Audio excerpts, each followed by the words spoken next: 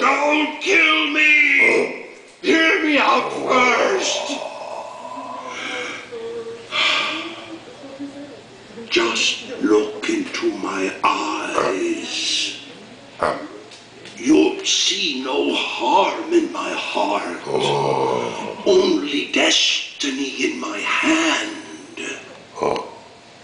You must have I am Omkar of the monastery of Desirata, guardians over this ancient red jewel for centuries. You came there long ago. I found your footprints in the snow where you left the baby at my doorstep. We raised Bala, teaching him the ancient languages, training him in the writings of the sacred red jewel. Grown now, but believes he is the chosen one.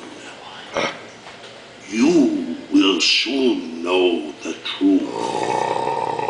So you must try to understand.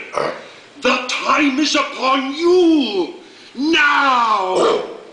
Our sacred treasure is in danger, and we need your help. Oh.